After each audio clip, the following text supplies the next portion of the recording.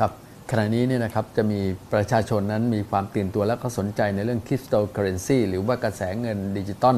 กันเป็นจำนวนมาก ในส่วนที่เป็นถูกต้องแล้วก็เป็นจริงก็มีส่วนหนึ่ง แต่อีกส่วนหนึ่งเนี่ยก็มีคนที่ฉกฉวยโอกาสเนี้ยมาแสดงข้อความจริงอันเป็นเท็จแล้วก็หลอกลวงประชาชนนะครับเป็นในรูปของแชร์ลูกโซ่ โดยอาศัยกระแสคริปโตเคอเรนซีเนี่ยแหละครับโดยอ้างว่าเป็นการลงทุนในสกุลเงินต่างๆ หรือ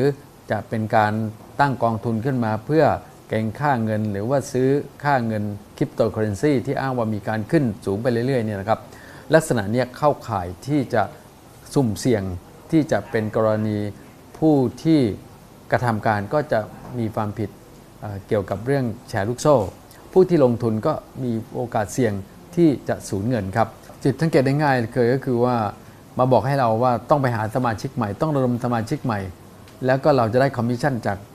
การที่สมาชิกใหม่จ่ายค่าสมาชิกหรือว่าลงทุนหรือระดมทุนครับแล้วก็ประการที่ 2 ก็คือดูแล้วผลตอบแทนสูงมาก ถ้าผลตอบแทนสูงมากเนี่ยคนระดมทุนก็ไม่ต้องมาระดมทุนเราหรอกครับเขาก็ไประดมทุนเองเรื่องอะไรเขาจะมาแบ่งเรานะครับก็เป็นจุดง่ายๆส่วนมากเนี่ยเขาจะเอาไว้หลอกคนโลภอะครับใครไม่โลภก็มักจะไม่เสียเงิน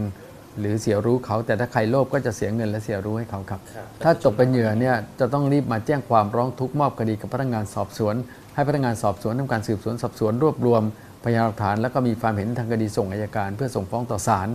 แล้วก็ผู้ที่กระทำผิดฐานเนี่ยเป็นความผิดมูลฐานฟอกเงิน ตามพระราชบัญญัติป้องกันและปราบปรามการฟอกเงินด้วยดังนั้นทรัพย์สินที่ได้จากการช่อโกงประชาชนไปนั้น จะต้องถูกยึดตกเป็นของแผ่นดินหมด ในกรณีที่ไม่มีผู้เสียหาย แต่ถ้ามีผู้เสียหายก็ต้องยึดแล้วคืนให้ผู้เสียหายไปครับครับมาตรการขณะนี้ทางตำรวจสำนักงานตำรวจชาติก็เน้นเรื่องการประชาสัมพันธ์ให้ประชาชนรู้ เพราะว่าขณะนี้เนี่ยเป็นยุคการเงินไร้พรมแดน หรือว่าโมบายแบงกิ้งเนี่ยนะครับหรือว่า e banking เนี่ยประชาชนเนี่ยเห็นว่าหน้าเว็บเป็นภาษาไทยนะครับระดมทุน พอระดมทุนพอลงทุนไปปุ๊บเนี่ยปรากฏว่าหลังเว็บเนี่ยมันอยู่ต่างประเทศ